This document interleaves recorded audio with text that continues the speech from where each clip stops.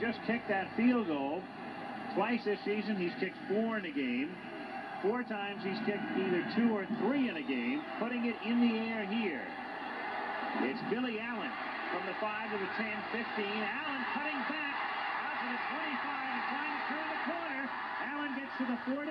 He's into West Virginia territory. He gets by Woodside, and Allen goes all the way. Billy Allen for the touchdown.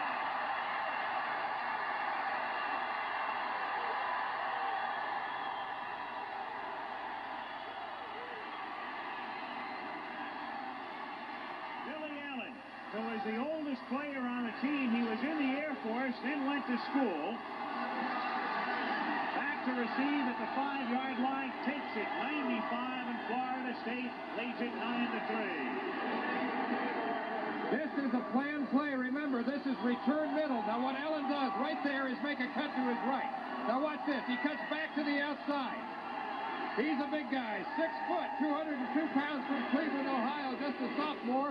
As Al told you in the Air Force, 95 yards on that return. And the kick by Hall is good with 13.54 to go in the first half.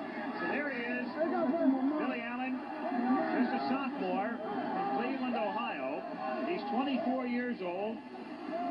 Returned a kickoff last year, 97 yards Look against at this. LSU. You see. He's to the left side of the field. He comes straight up. And now here's the big move right here. The cut. He gets away from Newberry, number 28.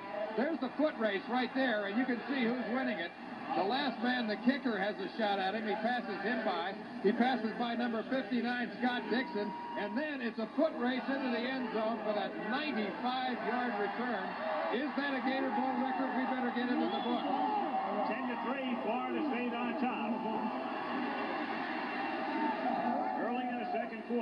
indeed a Gator Bowl record. Longest run back